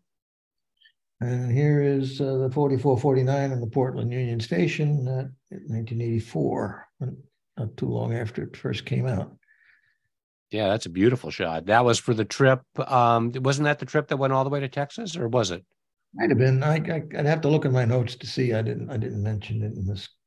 Yeah, we that, that Texas trip was pretty good. well, I went all the way to Louisiana actually, but we we we broke off uh, west of San Antonio, figuring it was going to get flat and ugly, which it which it did. But we went back a month later and picked it up and came back to Portland with it. So got plenty of pictures of the thing. It, it actually ran without the water tank for a few days because it had a hot box. So that Oh, was, the water tank did. yeah, that was particularly nice. We were pleased. Oh, sure. I, I was accused of putting sand in the journals, but it wasn't me. Oh, okay. All right. Here we go to the next image. Now Oh. Milwaukee Road. Uh, I knew about the Milwaukee Road because I'd seen pictures that other people had taken and made a couple of trips there to get the electrics in the early 70s. Uh, this is 1972, a place called Bonner Junction. Uh, I was with Don Phillips that day, and I remember it was 38 degrees below zero when we got up that morning. It looks cold in this picture. It was cold, yeah. We were dressed for it and got some pretty nice stuff on that trip. Uh, So is that the Northern Pacific in the background then? it is on the other side of the river, yeah. Okay. And a pair of uh, little Joes and moving of a, and they were dragging a switcher going somewhere. yeah, going somewhere with something. So lovely shot. Bilt says that was the World's Fair daylight going Portland to uh, the World's Fair in New Orleans, 1984. Oh, okay. All right. Yeah. Well, thank you for the for the uh for the update on that. So beautiful shot here in the afternoon. It looks like on a beautiful No, winter no, day. No, that's the morning actually. Oh, this is a morning, so this would be an eastbound. Um, let's see, Bonner Junction. Well, I don't know. It's not important. Westbound, but it was in the morning. I remember. Yeah. was- Okay. All right. Okay. first And it, of the day. go ahead. Yeah, Leachman says it's westbound in the morning. Westbound in the morning. Okay. Got it. All right. Spot. Okay. Um, ready to move on? Yeah. Here's a shot at Alberton, Montana, a couple of little Joes on a, on a uh, westbound freight, 1974. A little snow on the ground. Liked it out there in the winter. No, actually, this was not, this was not winter. Was- Oh, yeah, it was. Yeah, yeah. This is, no, this is 72. Excuse me. I was looking at the wrong caption. The same trip, 1972, snow on the ground. Okay. And, and that snow just adds all the highlights to the rockery and and then you hiked into this spot? I guess. I can't remember the details of it. Okay. Well, it's 50 years ago. Yeah, that's true. Okay, here we go to the next one. Henderson, Montana, uh, westbound, uh, 1974. This one is, and you notice there's a diesel behind the electric. They had a setup where they could multiple unit the electrics with diesels, which they they did in the last years, the electrification, and uh, that was quite a common occurrence. Uh, this is at Sudan, Montana. Uh, Uh, just 21, late in the day and uh, just got the light right in that little pocket. Seventy-two. Ready? Yep. Yep. Hang on. Yeah, I'm stuck again for a second here. Hang on.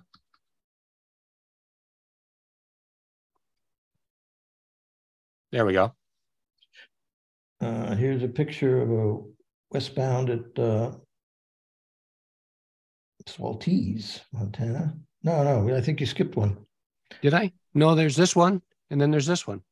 Well, where are the box cabs? Try the next one. No? Yeah, okay, yeah. Oh, there's the box cabs, right? Okay. Do you want to Go go back. back one? Yeah, go back to Saltese Okay, what- this one? westbound, yeah, and you notice it's it's got diesels MU'd in with it. That And you got cows in the foreground. cows in the foreground. They look like they're cold. Yeah. Uh, 1974, Auto racks heading for the auto loading facility at Kent, Washington. I guess. Ready? Yeah. This is uh Salt, this, no, that other one was Sudan, Montana. This is Saltese with the uh, box cabs. Uh, they were not working. They were being taken out to the west coast, I guess, uh, after being shopped. But they were in the, they were still running them, but I never did much with the box cabs. Uh, there's limit to what you could do. Yeah, there- uh, there's a box car between them and it doesn't look like they have pantographs anymore. No, they have pantographs, but they're not up. So I think, I think they were just hauling them somewhere. Uh, Okay, okay, okay, right. keep going. Hang on for a second, just. Stuck for a second here. There we go. Okay, on that trip that I met Warren McGee, I told you on the North Coast Hiawatha, well, sure Right. enough, uh, we were at Jefferson Island, Montana, and a Milwaukee freight on the parallel line showed up. I got this picture out of the dome. Uh, thank goodness they washed the dome window. Yeah, it's perfect timing. To- total, that's, that's just, uh, that's just good luck all the way around. And you say luck. Warren McGee was and- the conductor? and- And there was fog, uh, and, and the fog was kind of getting in the way. But anyway, it worked out just pure luck. Sometimes you get lucky. This is 1972. On the North Coast Hiawatha, of course. Right.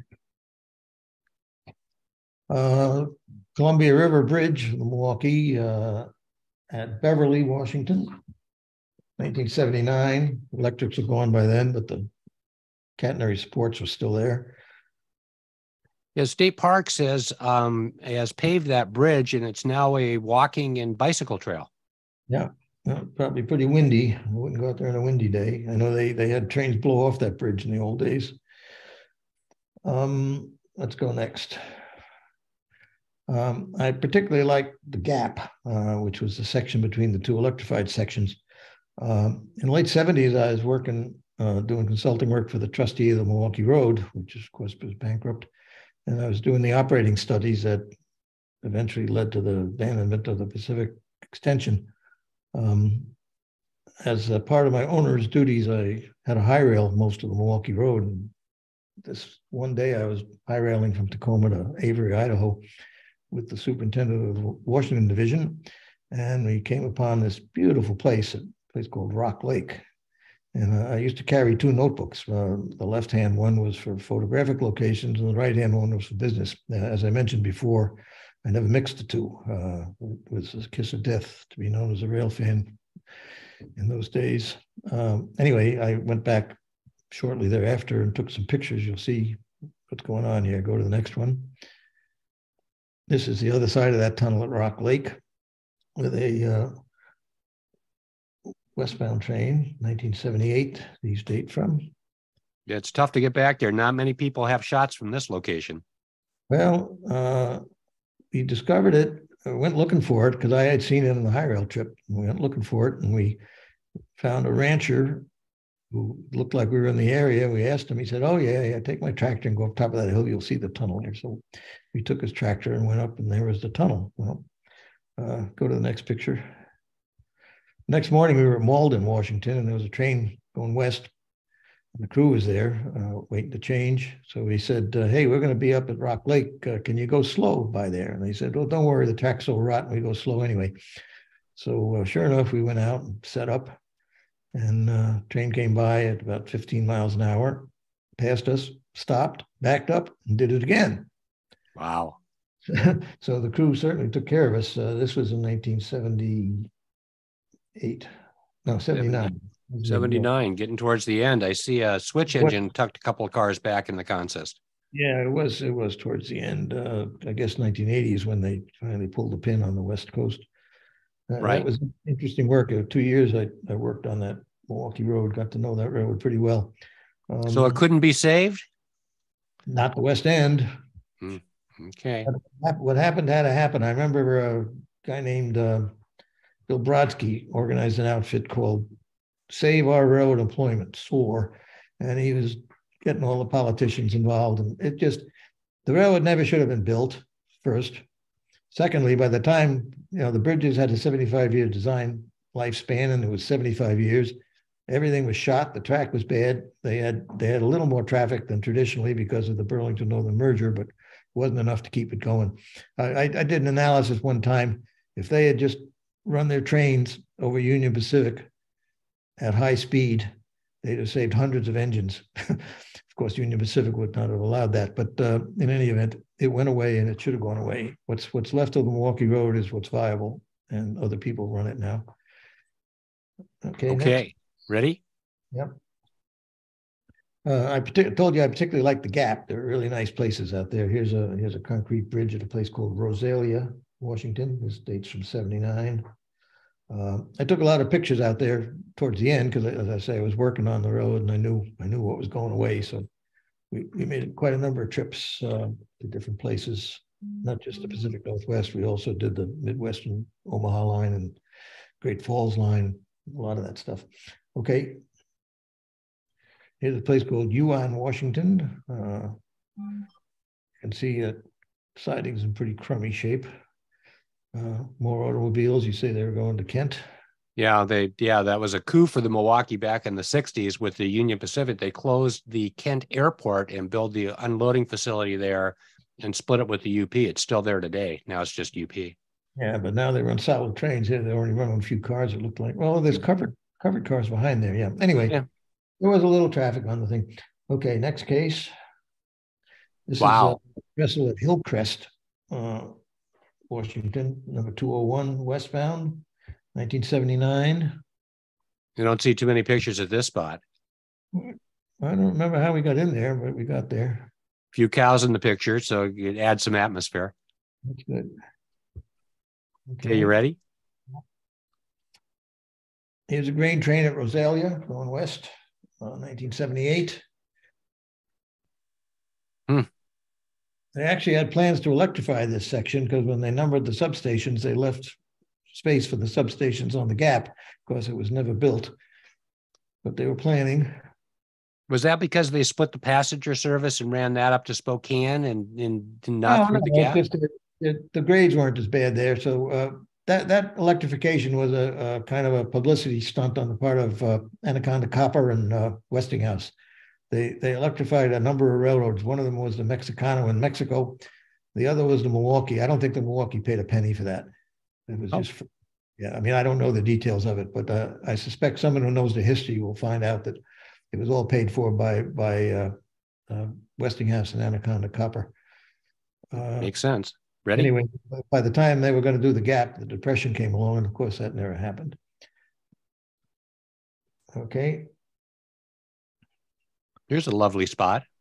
Yeah, that's pretty nice. Uh, that bridge has since been, I guess, part of it fell down. They rebuilt it. Doesn't look as good these days, but that's uh, um, Ramsdell, Idaho, crossing Bennett, Benewah Lake. It's called. Yeah, the Benewah Lake. Yeah, came out of St. Maries and, and uh, was nice, nice area. Kind of interesting train. Some empty wood chip cars, and then some loaded auto racks, and then a bunch of grain. So it's just kind of a hodgepodge. Whatever they had, they moved. Oh, you ready for this one? Yeah, yeah. This is a PD Trestle. The interesting story behind this one. Uh, said I was working for the trustee, and I was out there all week, and uh, decided to stay the weekend and take some photographs. Well, uh, my boss, guy named Chuck Hoppy, wonderful guy, uh, he also wanted to high rail this section. He was he was a little bit of a rail fan himself. Well, a lot of a rail fan actually. So uh, Saturday he sets up a high rail trip, and of course I was out taking pictures and uh, I'm standing up on the hill here at PD and I hear the high rail car leaving town. So I had to go up and hide in the woods. I didn't want the boss seeing me out there with a camera. And uh, then after the high rail went by, this train came and got this picture. Okay, that's we'll, a great shot. We'll move to Canada. Okay, here we go. Okay, uh, both the C and the CP main lines in the canyon of the Thompson Fraser rivers, and it's pretty spectacular country. Uh, uh, today, they share tracks on a directional basis in certain areas, but uh, back in the, the day, of course, they ran on their own railroad. Uh, CN had these rock slide sheds, which protected the track from the rock slides. Pretty, pretty rough country. Um, this is an eastbound freight at Piqua.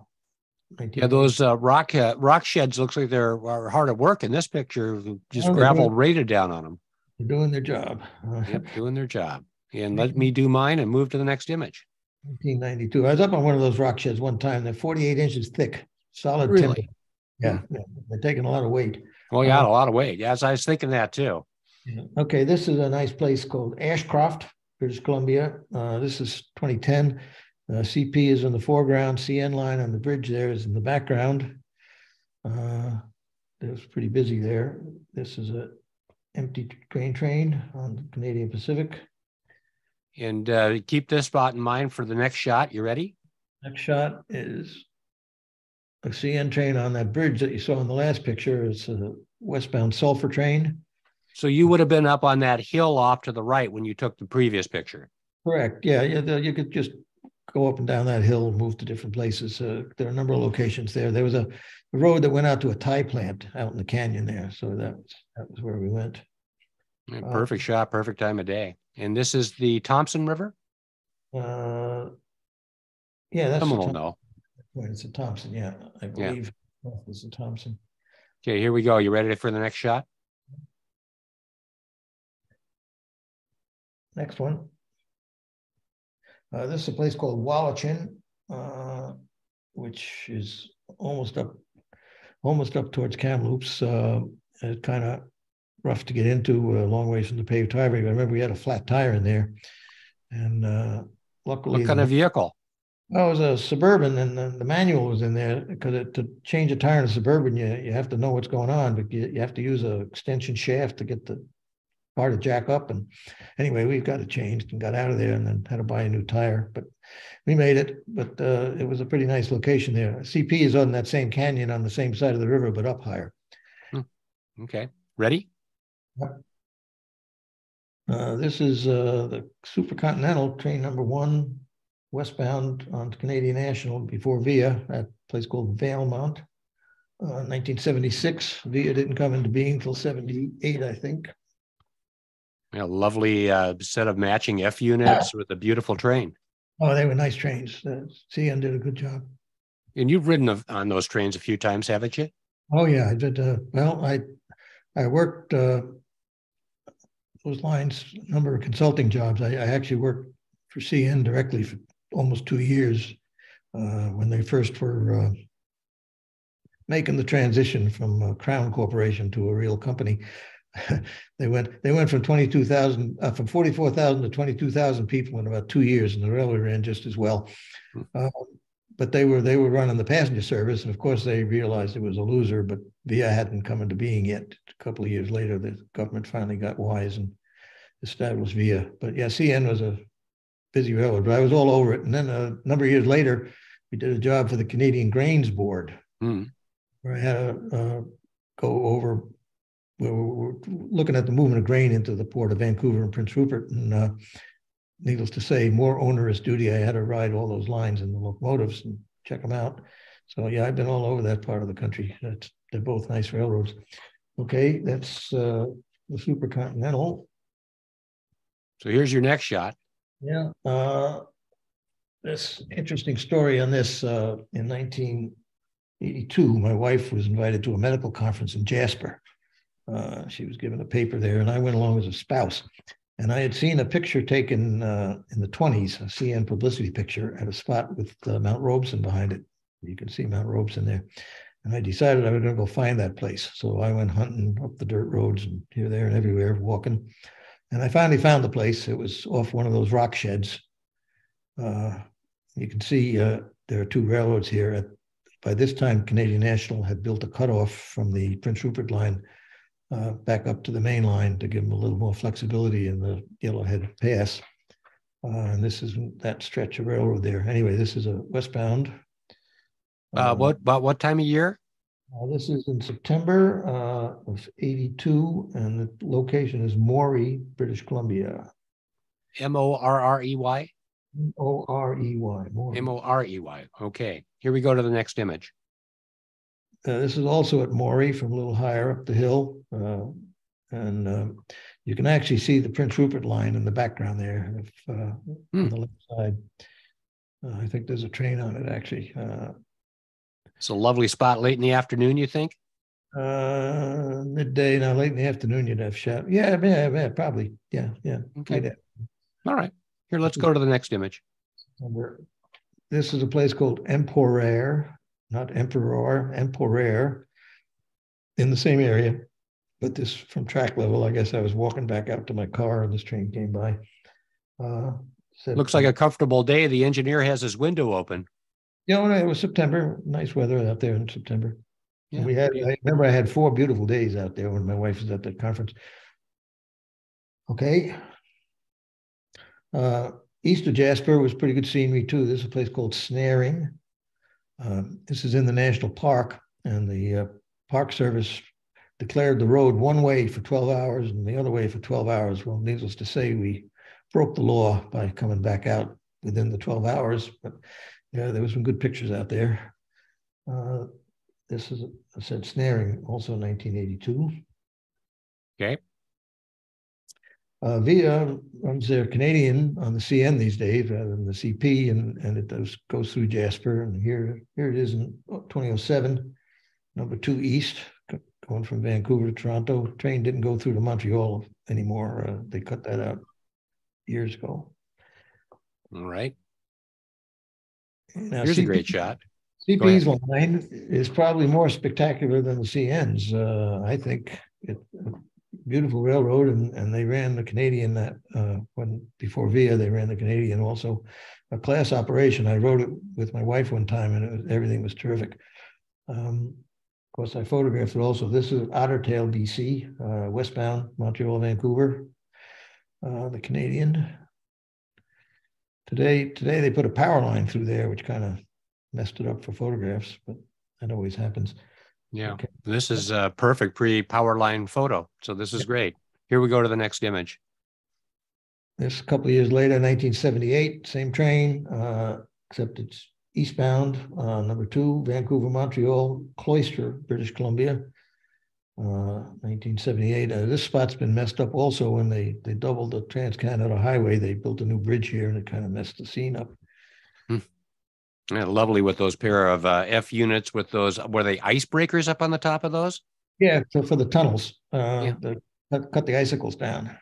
Yeah. Okay. Ready? Yeah. Next. Here you go.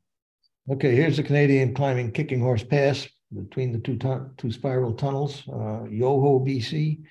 That's a famous place. Uh, Ca- Canadians don't like to uh, cut trees. So uh, today you're, you're at an overlook on the highway and there's a sign saying about the spiral tunnels and all that. And today you go up there and you can't see the track. I remember being up there one time, a busload of Japanese tourists stopped and said, "Where's the railway?" You know, can't see it. Oh well, the trees used to used to be lower. Anyway, this is a Canadian going up the Kicking Horse Pass at uh, Yolo, Yoho or Yolo. Yoho. Okay, here we go. Yo ho ho, off we go. Uh, here's a freight train coming out of the uh, lower spiral tunnel to, from the same location, but different time of day. Uh, it was pretty busy freight line. Uh, a lot of lot of traffic there. Okay. This is a famous place called Morant's Curve, where the CP's photographer Nicholas Morant often took pictures. Uh, just a spectacular location. Uh, this is near Lake Louise. This dates from 2006, double stack train. It's just lovely with the um, with all the snow still hanging in the trees like that. Yeah, yeah, that's that happens out there sometimes when you get that kind of wet snow. Yeah, here we go to the next image. This is uh, also at Yoho, uh, at Mount Stephen in the background. Um, eastbound freight, 1976. Okay, here we go. Oh, no, you yeah, like this locomotive, don't you? That locomotive. Well, I like Royal Hudson's. Uh, I actually owned one at one time with a couple of friends, um, which is another story. But anyway, they uh, this was in '78. They ran it across the country with a museum train, and of course, we went out and chased the thing. It was pretty nice. Here it is between the two spiral tunnels. You can see in the background the smoke coming out of the tunnel and it's uh, on its way. Next and shot. this would be its uh, native track, right?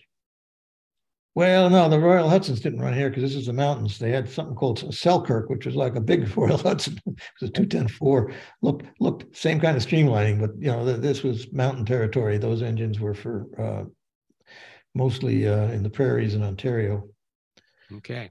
Here we go to the next image. Yeah, here it is coming up out of the first tunnel out of field, and that's Mount Stephen in the background. This is a place called Cathedral. Hmm. Uh, the reason they have those signs on the front is when uh, one of these engines, called the Royal Train, when uh, the King and Queen of England came over in 1939, so they got permission to call them Royal Hudsons. And on that trip, they had Canadian Pacific Railway and a sign like that. So when they took the thing out to British Columbia, of course, they had to had to put their name on it. So they did anyway, look looks pretty good. Nice engines. Oh, sure. Uh, 40 years later, they resurrected another steam engine, the 2816. And here it is at Morant's Curve, same place.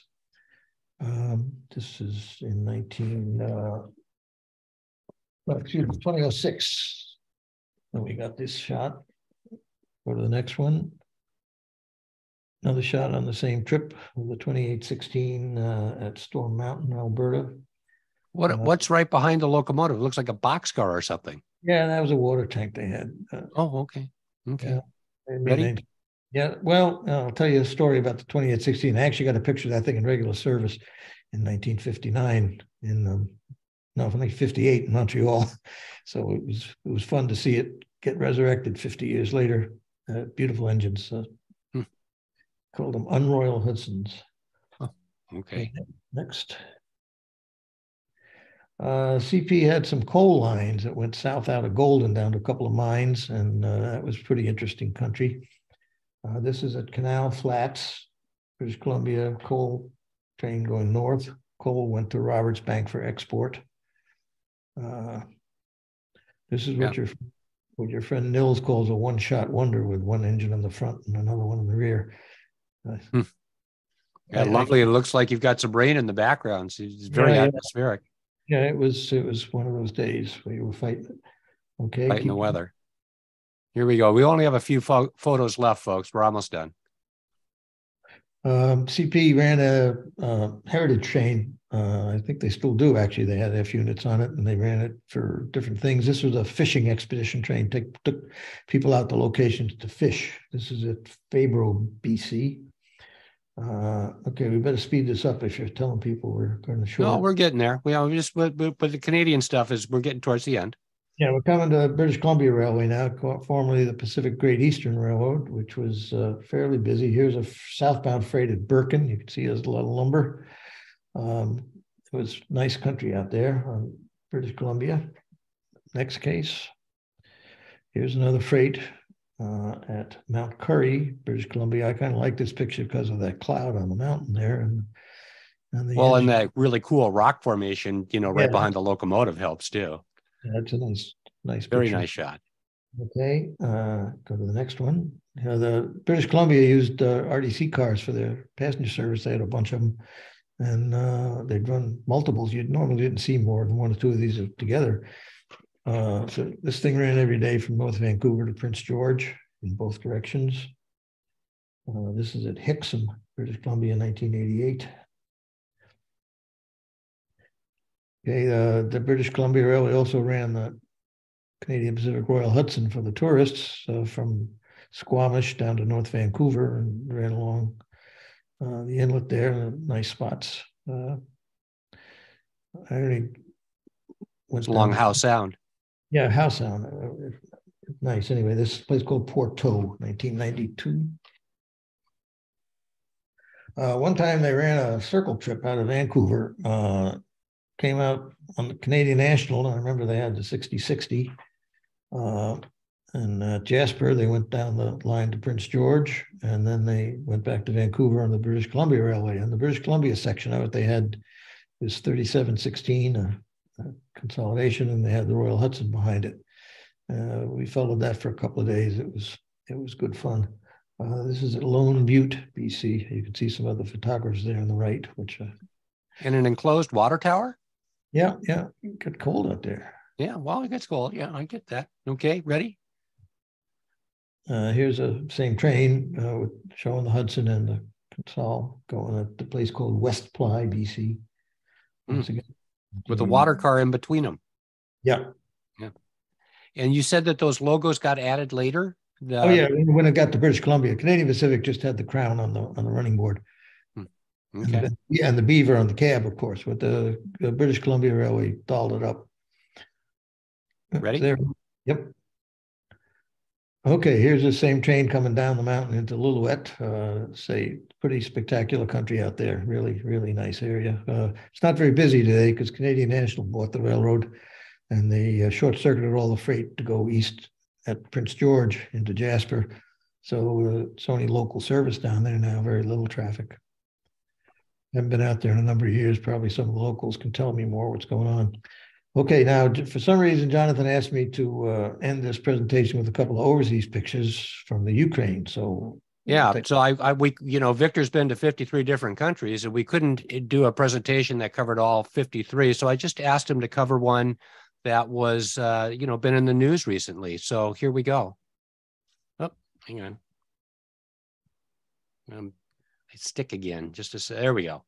Okay, this is this is a picture of a standard uh, Soviet Railways S, uh, SU locomotive. They built hundreds and hundreds of these, maybe maybe thousands. I, I, don't know the exact count, but it was a standard engine uh, from the 1930s on in the Soviet Union.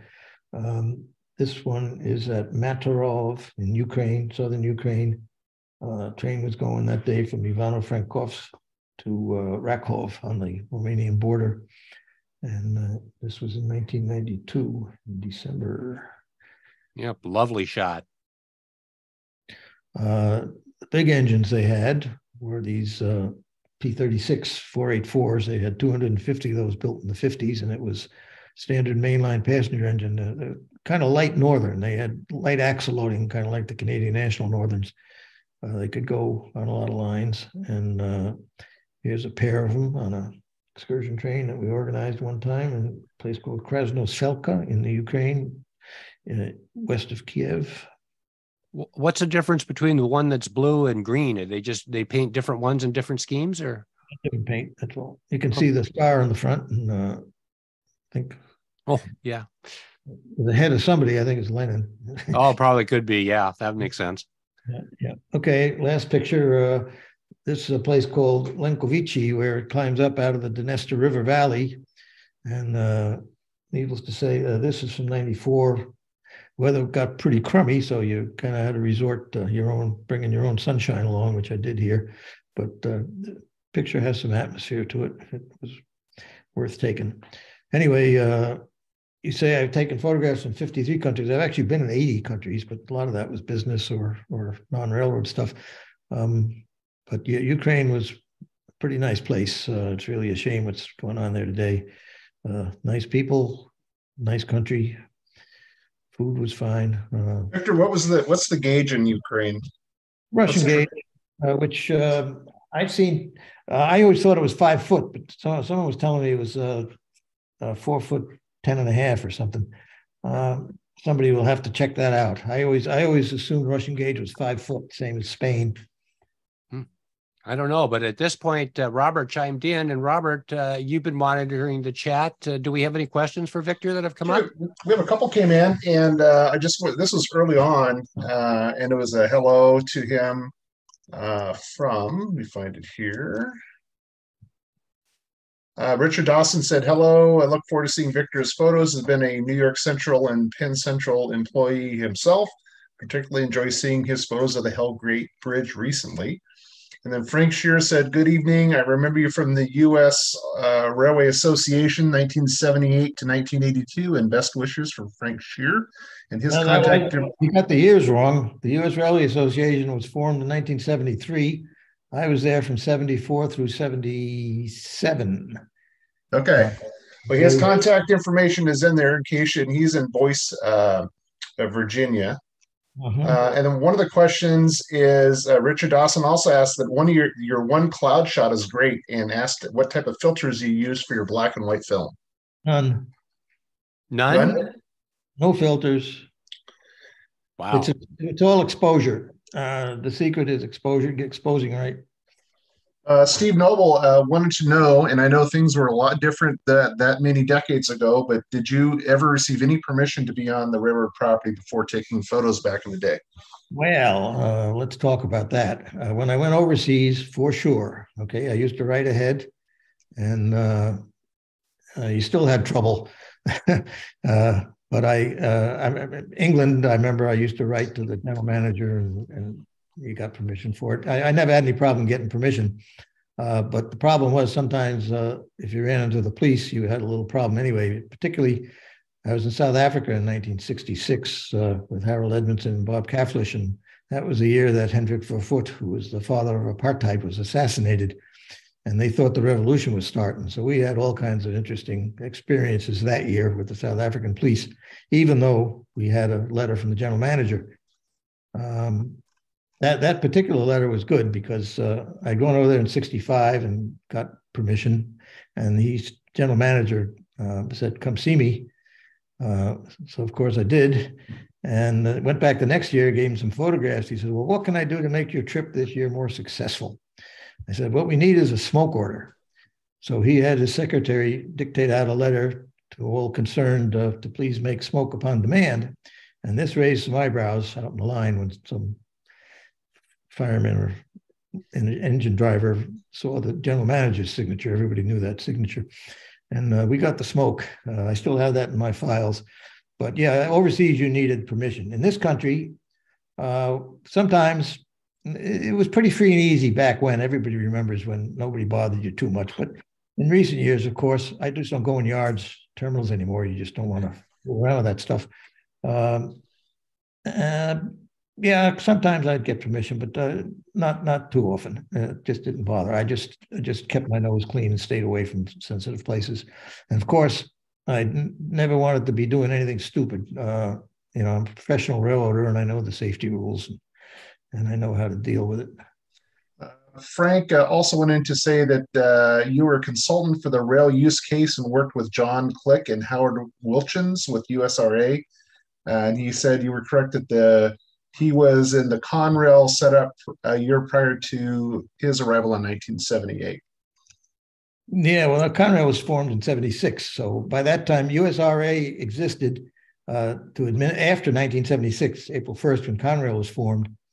USRA was running some other programs, given federal money. You know, some went to the Rock Island, I remember, and Katy. Uh, and there were a bunch of other things they were doing. I, I had left the company by then uh, after Conrail was formed, I, I left within six months. Um, I wanted to go to work for Conrail, but I didn't want to move to Philadelphia. So that didn't work out. So I went consulting and uh, ended up working for just about everybody in the United States and around the world. Uh, we have a note here from uh, Todd uh, Halamka. Hopefully, I'm mispronouncing that right. Extraordinary work, Victor. Really beautifully composed and developed. Uh, he said, You taught me long ago that all you need is one shot given any scene. And even though he's still failing, but taking multiple, but far less than he used to, and he wants to thank you for your amazing art, amazing artistry. And then uh, Frank Shear just uh, wanted to uh, illustrate um, the uh, the great views from the past today. Uh, and then other other thank yous are coming in from Frank Buckholtz, Valerie Randall. So take the time to take a peek at those, um, and uh, really, really appreciative of your work. If you have any other questions for Victor, please uh, type them in the chat now. Uh, we've had him captive here for almost two hours, so we want to be cognizant of his time and everybody else's as well. So yeah, if we don't hear any more questions in the next minute, we're going to uh, move to the credits and wrap up the program and conclude the presentation. And then maybe we'll hang around for a few minutes afterwards if someone wants to say hi to Victor. So anything more, Robert? are we ready for the nope, credits? I think we're good to go. So we can uh, wrap it up. Thank you. So Victor Hand, of course, uh, me, Jonathan Fisher is your host, Robert Scott doing the Q&A. And the photos from today's uh, presentation are from the Center for Railroad Photography and Art Collection at Madison, Wisconsin. We thank our sponsoring organizations, the Pacific Northwest Railroad Archive, Cascade Rail Foundation, and of course, all of the good offices of the Center for Railroad Art and Photography, Railroad Photography and Art in Madison, Wisconsin. And funding for this program comes from 4Culture, a cultural funding agency for King County, Washington, and from viewers like us. Thank you for registering and attending our program. If you have a friend or you want to know more about PNRA or some of our future programs, please contact me. And you can contact me at the email address below info at pnraarchive.org. So that is the end of our program. I'm going to stop the share and uh, everybody is free to go. But if somebody would like to say hi to Victor, raise your hand. Robert will call on you, and uh, we've got a, a couple of minutes uh, for everybody. If anybody wants to say hi to to Victor, uh, go ahead. Frank Shear, your hand is up. Say something. Oh, hi, Victor. I just uh, wanted to clarify. There was a couple times where you came back to USRA as a consultant, and uh, they were asking you questions about, um, you know, what lines were uh, in the Erie Lackawanna, in the Lehigh Valley, and so on like that. We were preparing some some drawings that we were going to give to the special judges, the three judges, uh, of uh, what the railroad routes were, so they could visualize it in their office for the rail use case. So that's when I saw you. You know, you were coming back on in, and uh, just nice to see you years later. And I've seen some of your photographs before, and certainly uh, enjoyed all of them. I'm glad you like them. Uh, that work at USRA um, was probably the high point of my career. I, I did uh, a lot of the operations planning, putting the Conrail system together, and then I ran the conveyance process uh, where all the p- particular pieces of real estate had to be conveyed, and uh, it was pretty exciting work. Uh, and I think probably the most valuable thing I've done. Haven't done much useful since.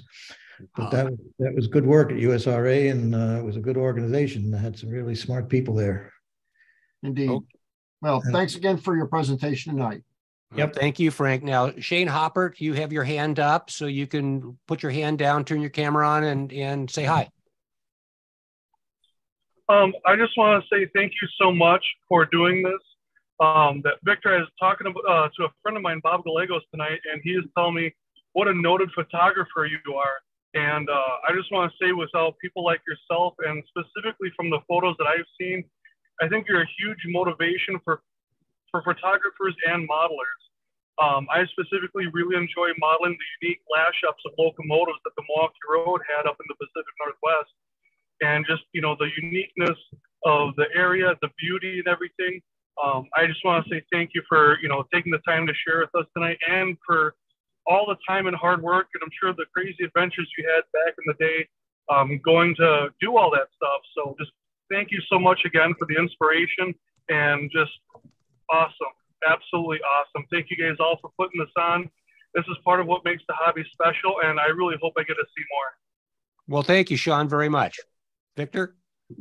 Yeah, thanks very much for your compliment. Uh, I should mention, uh, there is a lot more stuff online. Uh, Scott Lothes of the Center for Rail Photography and Art has put, I think, 11 portfolios together of my stuff, uh, some in the United States and some overseas. And if you go to their website, you can find that stuff and look at it. Of course, you won't, have me- you won't have me talking about it, but at least you'll be able to see the photographs. If you look at the chat, I put in the links for the PNRA, for the CRPA, and for the virtual railfan Chehalis link. Uh, so you can take a peek at that. Great. And uh, Jeffrey much. Moffett, you have your Morfitt, you have your hand up. Go ahead, Jeffrey.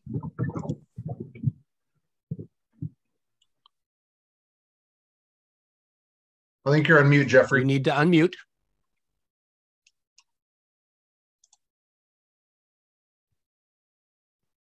Okay, so Jeffrey, if you could unmute, you have your hand up and uh, I don't see any more comments after this. Oh, Todd, okay. Jeffrey,